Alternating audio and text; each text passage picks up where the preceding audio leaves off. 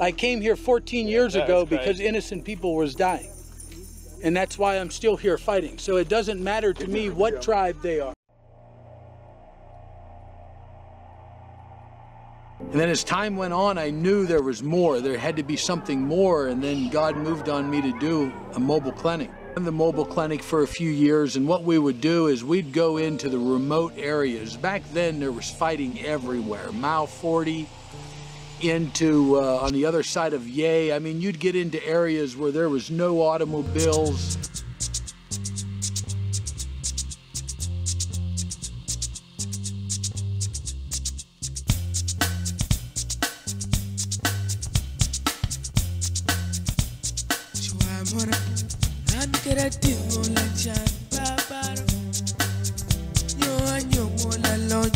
I think the only thing that's going to slow northern Uganda down hmm. is going to be you.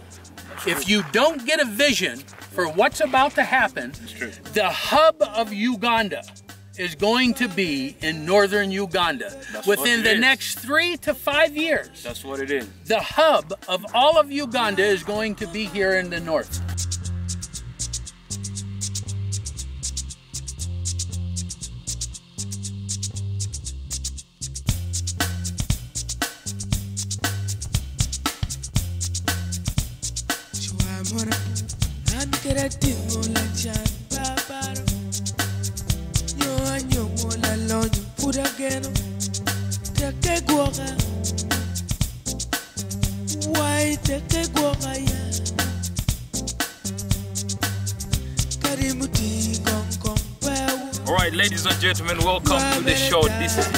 From Northern Uganda, and this is Northern Uganda to the world, ladies and gentlemen.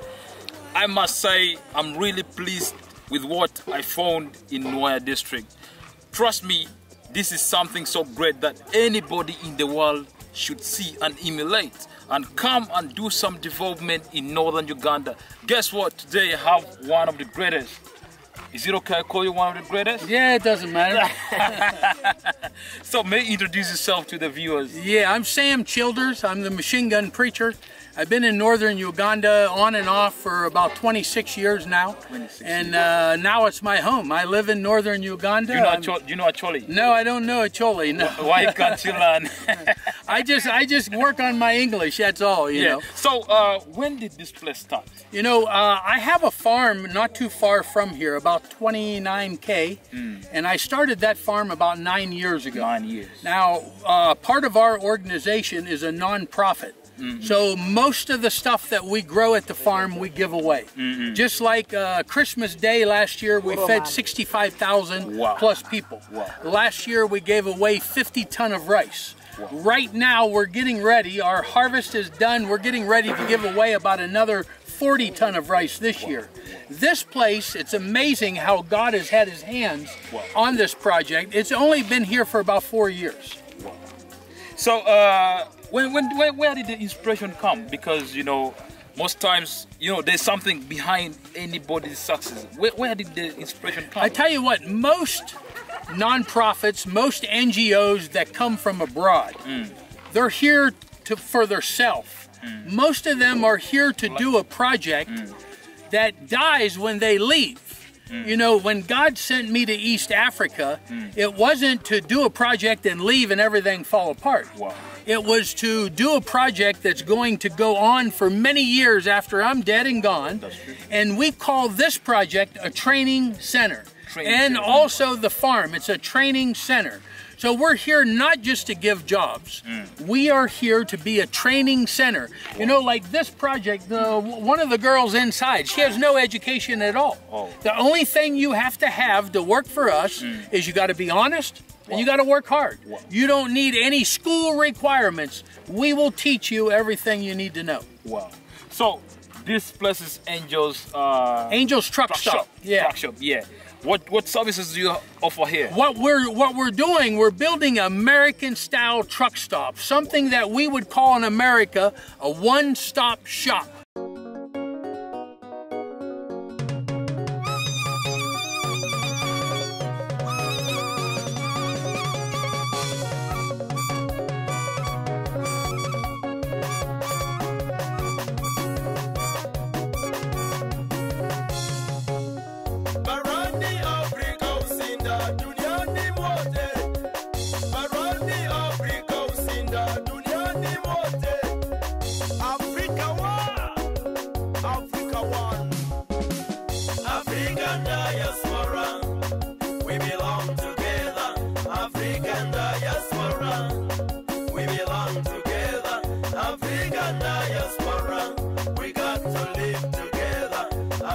African diaspora.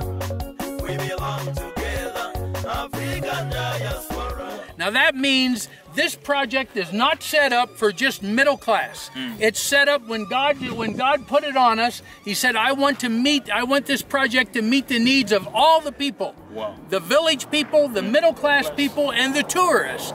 So this project right now, you have tukus that you can rent for thirty or thirty-five uh, thousand a night, all the way up to VIP rooms for two hundred and some thousand. Wow.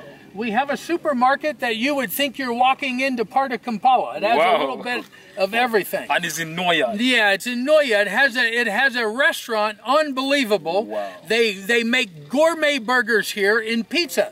We have a wood I've, I've never, oven. I've never tasted burgers. You you never tasted Never. a burger. I'm telling you, I'm going to invite you back for one. Wow. We have some of the best food you can get. I'm going to say, even in Kampala, we have right here in northern Uganda. Definitely. S- something that no one has in northern Uganda. That's true, that's true. you true. can come into our bar, into our cafe, Mm. and get ice.